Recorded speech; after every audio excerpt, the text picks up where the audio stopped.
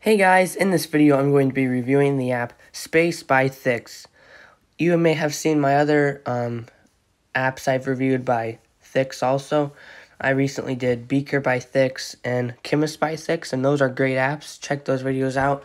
Thix is a great developer, but anyway, in this video I'm going to be reviewing the app Space by Thix, and let's go check it out on the App Store. It is available for a fee but it might be worth it to you. It's about $5. Um, like I said, it's not free, but if you like space and you like this kind of app, it might be worth it to you. But what it is, it's basically um, a playground in space. Like, it's a sandbox you can put planets in, you can um, put black holes. It's basically a sandbox game, but with space. So you can see it has 3.7 stars, 148 ratings. Um, it's about 82 megabytes. So let's open it up.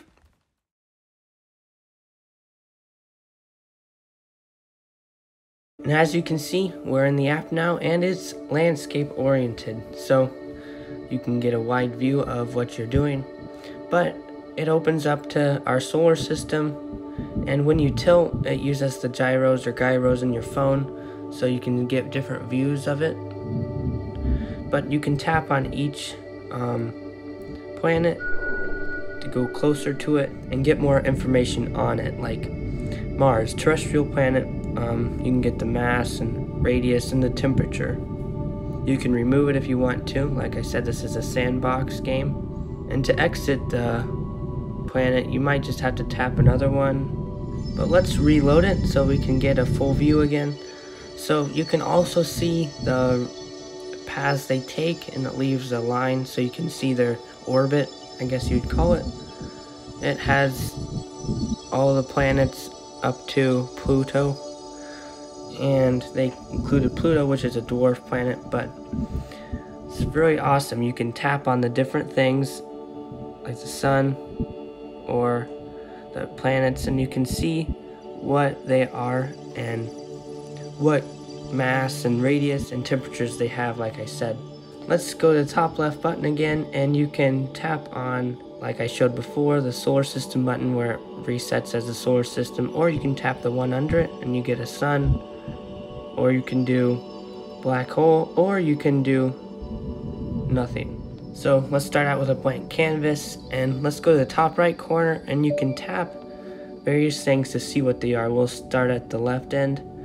That's a gas giant, that's a terrestrial planet, dwarf planet, moon, comet, asteroid, white dwarf, red dwarf, yellow dwarf, blue giant, pulsar, black hole, and nebula. And if you let it stay there and don't tap another one, it tells more about it. Um, this is an interstellar cloud of dust, hydrogen, helium, and other ionized gases, and that is a nebula. Let's put a yellow dwarf like our sun. It gives it a name. It has a solar mass and a radius. You can change it. Just sliding this dial will make the numbers bigger or lower. We'll make it as big. And we'll compare it to a blue giant. And it's a binary star system zoom in and I'm gonna make the blue giant as big as possible. And it makes a supernova as you just saw. They collided with each other.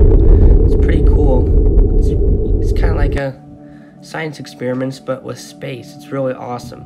You don't have any limitations, obviously.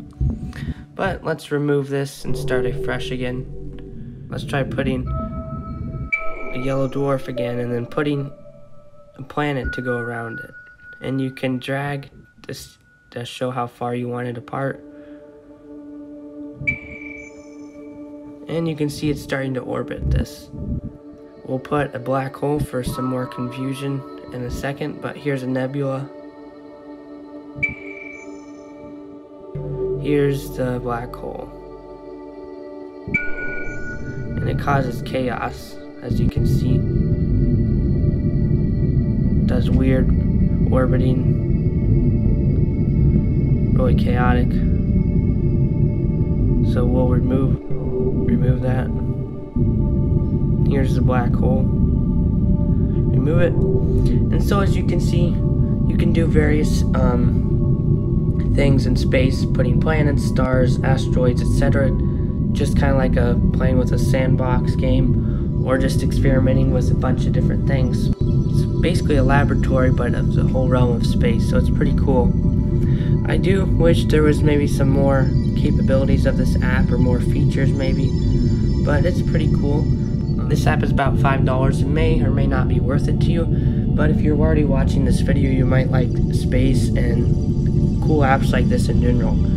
Um, like I said, it's basically a sandbox game, um, that's what they call it, but it's in space. You get to deal with planets, all kinds of um, different objects like asteroids and comets, nebulas and black holes, and you can see the reactions they do between each other, like the gravity and their orbits, um, explosions. You just saw that supernova. That was pretty cool. It would be cool if you could simulate actual satellites and space shuttles and rockets to see how they interact with planets and things in space. That'd be cool. Um, like how they orbit and how they float around and things. But maybe in the future, but it might also be cool someday. I know this isn't the kind of app, but to do more space um, rocket oriented things. But there's probably other apps for that. But this is a pretty cool app. Great for people who really love space, really love science and experimenting. Um, may not be worth about five dollars. I think there's other apps on the market, so you'll want to check those out too. But it's a pretty cool app, and I bought it, so I'd recommend it to those who really like this kind of thing. Um, it's clean, well made. Wish it had more features, maybe more stuff to justify the $5 or so price, but anyway. Thank you guys so much for watching this video. If you liked it, please leave a like, comment down below what other apps I should review, and please subscribe if you like my content and thought this video was helpful. Thanks, and I hope you guys have a great rest of your day. Goodbye.